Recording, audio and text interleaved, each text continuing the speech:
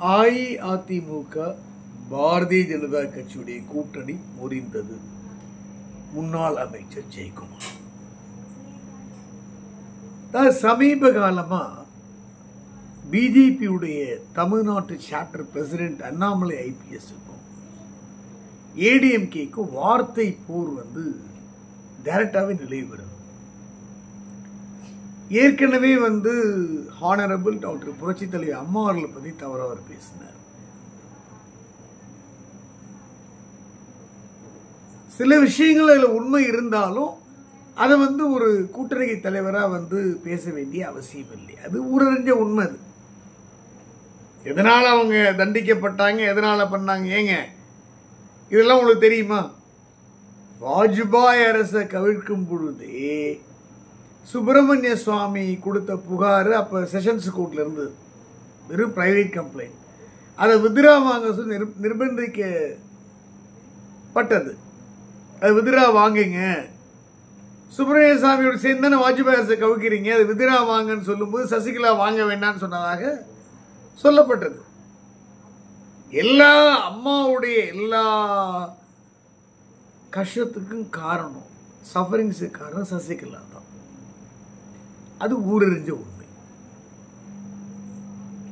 யாராவது அவ்வளவு நகையை போட்டு மேரேஜ் பண்ணுவாங்களா? ஒரு ஐயங்கார் வளகல ஐயங்கார் சுதாகரனை போய் வளர்ப்பான ஏற்றுப்பாங்களா மகாமகத்தில் ரெண்டு பேரும் ஸ்நானம் பண்ணுவாங்களா? யோசிங்க. ஒவ்வொன்றையும் நீங்கள் யோசிச்சு பாருங்க. ஜெயலலிதா பொறுத்த வரைக்கும் போல்ட் லேடி அயன் லேடி மோடியா லேடியான்னு சொன்ன ஒரு புரட்சிகர தலைவி. ஆனா அவங்க வெரி இன்னோசென்ட்